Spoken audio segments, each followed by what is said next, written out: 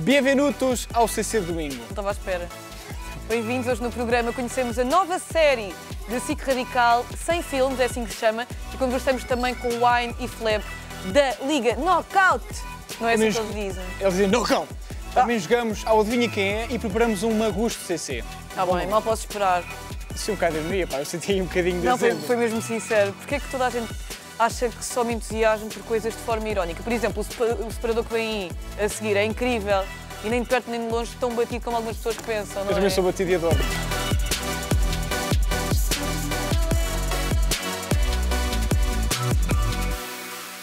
Olha, Ricardo, temos de falar rapidinho porque este momento precisa de tempo. Ah, o que precisa de tempo. Só quer dizer uma coisa, eu acho que ainda estamos em espírito de Halloween. Porquê é que trouxeste espanto espíritos nas orelhas, pá? Pá, é assim, Andas com as orelhas bullying, assombradas. o bullying do Ricardo tem de parar, ou fica o Ricardo ou fico eu. Isto aqui é para... Andas a, a mais energias das orelhas. Oh Ricardo, eu gosto tanto do teu poupas. Gostas? Mas eu elogio-te, eu mato-te com amor.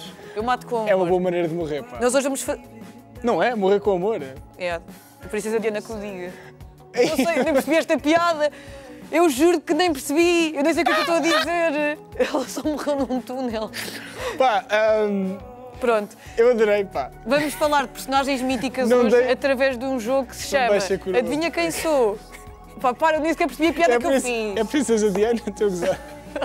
Não, mas explica o jogo. Então o jogo basicamente é, isto vai ser uma falsa conferência de imprensa em que basicamente tu vais ter de responder, ou eu e vice-versa, vamos responder a questões que nos são colocadas e nós, através das questões, temos de adivinhar quem é a pessoa e o que é que essa pessoa fez. Ok, Percebeste? Tá bem. Tens de fazer perguntas, tens de ser criativa, pá, tens de aqui de jogar. está bem. Então eu vou explicar, vou dar o exemplo. Faz-te conta que eras a princesa Diana. Ok, Ok? E vocês estão em casa também podem tentar adivinhar, apesar de eh, não precisarem, porque vão ter a resposta no ecrã. Mas eu faz- fazia-te a seguinte pergunta: Ah, quando é que decidiste casar-te com o Carlos? Ahm, E tu ias perceber que eras a vou ter de Princesa perceber. Diana. Ok, sim, sim, sim, percebo. Eu não, eu não conheço mais ninguém famoso que casou com o Carlos, por isso, já, faz sentido, não O Carlos da Casa dos Segredos não tem mulher? Ah, não sei, pá. A Casa dos Segredos, o Carlos. É, o Carlos que eu é sou muito... Eu não sei quem é. Eu não sei quem é, mas vou confiar em ti. Mas tipo, giro tipo como? Tipo, Pá, para mim é o homem giro mais Luís de Pinheiro, Portugal. loiro. Não, é zero Luís Pinheiro, por amor de Mas Deus. é mais tipo Tatuadão, nórdico. tatuadão, todo tatuadão. Eu também, pá. Adoro. Homem tatuado, tatuado é. Para mim, homem tatuado é homem abençoado. Tenho uma tatuagem, quer deixar uma? claro. Tenho uma. Pá. Mas não pode ser só uma, um calquito, tem de ser um homem tatuadão. Mas o que é que é tatuadão? Para mim, é tatu- ele não tem quase pele sem ser tatuada. Ah, é esse ok, género. tá-se bem, É tá-se como bem. eu gosto. Vamos começar então. Ahm, até eu vou votar de costas para ah, a frase, a situação. Já está exposta? Então o que é que está de costas? Eu começo. Eu começo de costas. Então o que é que. Eu, tô eu tenho que estar de costas também. Pá, ah, fica bem. Posso estar de lado. Eu posso olhar para o ecrã. Eu acho que tu podes, que a primeira Pá, posso, frase é eu sou minha. eu, sou eu. Tu és tu. Quando é que tu decidiste largar a cozinha e dedicar-te a assuntos eh, relacionados com motores, com viaturas? Ahm, ok. Não é fácil, sabes que uma vez tu agarrado, ah, eu sempre estive habituado a lidar com pressão, neste caso Uhum. panelas de pressão, mas agora gosto mais do- do- da pressão que é conduzir um. ah, os motores com que eu trabalho e com Ok, com sim, trabalho. sim, sim. Gosto E quando mais. é que decidiste que uma das tuas imagens de marca poderia passar por seres uma pin-up? Uma pin-up. ahm, eu sempre fui muito familiarizado com o termo pin-up ah, e para mim, logo eu que adoro motores, há coisas que eu adoro no motor, a correr especialmente. A correia do motor? A Ah, correia. porque eu sou Maria Ah, Correia. sim, sim, era aqui um bocado Mas é verdade, eu, eu noto nos teus programas que tu tens muito sentido de humor. Tu não, apesar de tu não teres aprendido a cozinhar, foi uma coisa que sempre cresceu contigo. Tu não tens formação de, de- de chefe Uhum. de cozinha, mas sempre cresceu contigo. Sim, eu sempre gostei muito de, de cozinha e eu, eu, eu cozinho, adoro a cozinha, sempre cozinhei muito, mas também gosto muito de cozinho, mas que. Desculpem, desculpem, perdoa tudo. Eu gosto, enganei-me, gosto muito do porco. que cozinha, é isso que eu queria. Ah, já me porca. Ah, Olha, sou porco, ok. Mas eh, Hum. e o que é que tu, o que é que passa pela cabeça quando estás a fazer tipo pratos com twist, assim coisas mais mais rápidas para fazer? Como é que te vem essa ideia à cabeça? Ahm, primeiro de tudo, eu sempre trabalhei muito, gosto de improvisar e deixa-me só perceber se eu, se eu percebo uma coisa. Eu agora estou a trabalhar com motores, não, é diferente, eu estava habituado ao óleo alimentar e agora tenho diesel, também é o tipo Tu não de te óleo. preocupas muito com cozinhar com óleo e manteiga?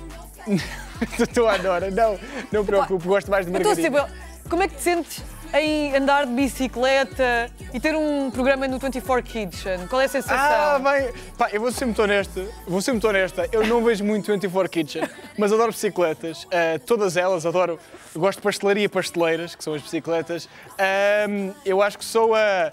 Eu sou a, a, a Kátia. Sou Kátia. Sou a Kátia. Ah, sério? É que se, eu sou se eu a tia. para isto, Aquela tia. se Aquela eu soubesse tia. que era para isto, eu nem sequer tinha vindo ao programa hoje. É, não sei quem é, pá. É a tia. É a Justa Nobre. Sou a Justa Nobre. A Justa Nobre usa eyeliner, parece uma pin-up. O que é uma, eu não sei o que é que é pin-up.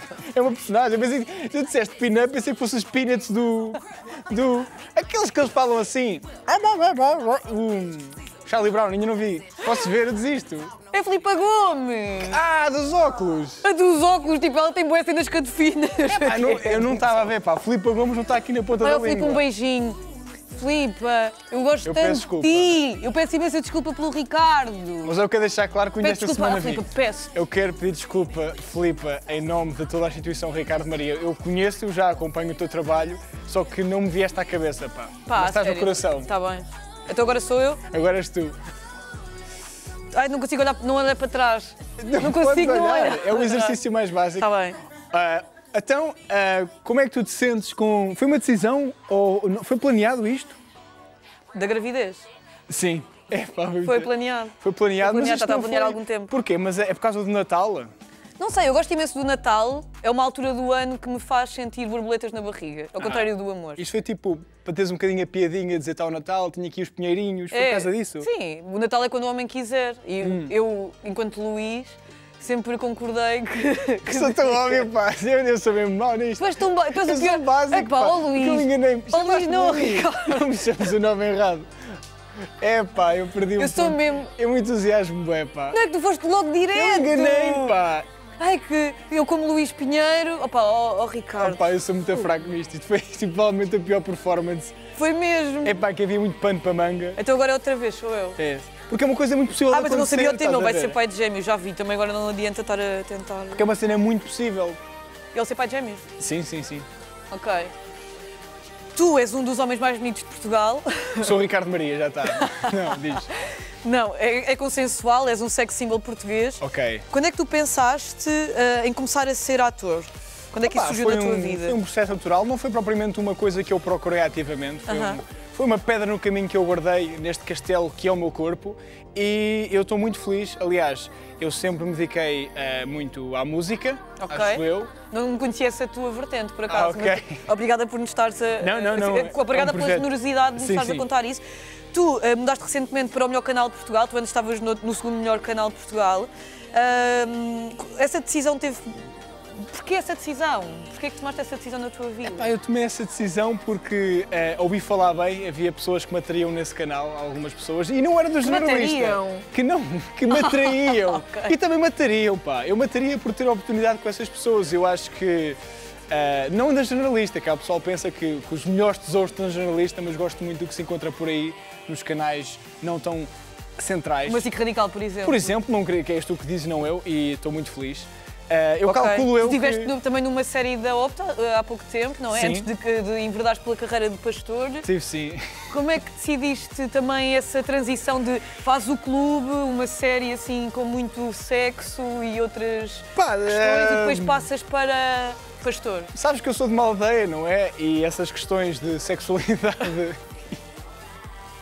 e também habituei-me a trabalhar com. Eu gosto de imaginar que trabalhar com atrizes e atores é muito como trabalhar com uma ovelha, sabes? É. Ah, é muito parecido. Eu sinto só um pastor. Mas ah, é, em termos de contracena, achas que é igual?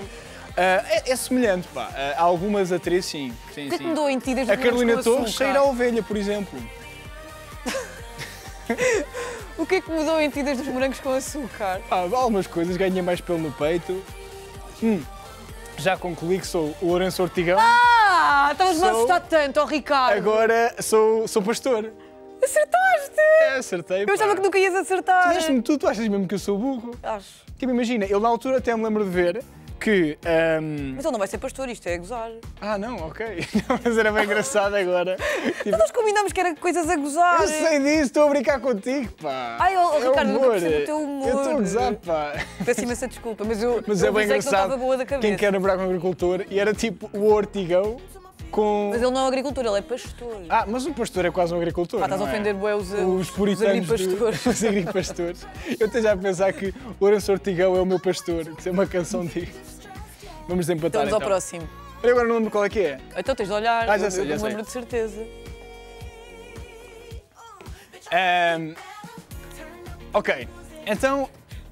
Como é que isto surgiu? Como é que, como é que surgiu? Pá, como é que isto surgiu? É...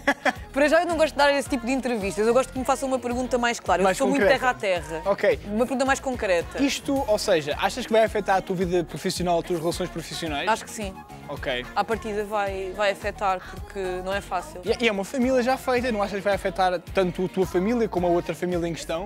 Talvez, eh, mas eu acho que não é eh, a questão de quem nasceu onde que define isso. E o que é que tu achas que ofereces, o que outras pessoas não vão oferecer? Ou seja, porquê é que tu achas que mereces estar com esta pessoa?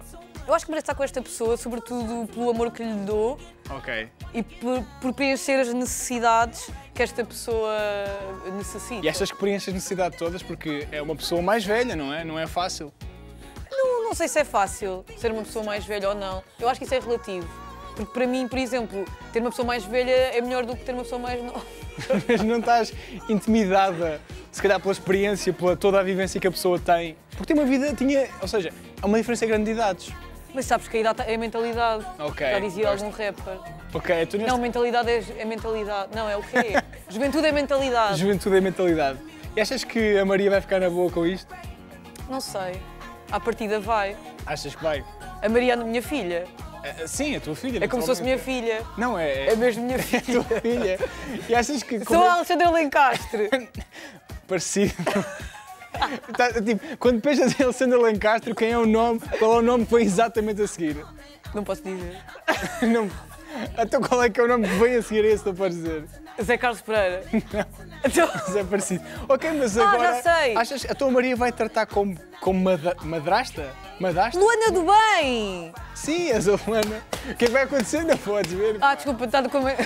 Pá, um Sabes o que é que eu pensava que estavas a falar? Mas eu agora percebi mal porque O isto era... Carlos Areia. Ah, não, pá, não era. Des- Desculpa lá, porque eu fiz a geneira outra vez porque era suposto trazer coisas a gozar e eu trouxe uma cena a sério outra Mas é vez. que isto é sério. Sou da Estás a perceber? pá. Por isso é que eu não percebi a Pois, piada. Porque ela está numa relação. Opa! Ai, pá. Eu gostei muito deste jogo, mas eu acho que ganhei na medida em que. hum, 2-1.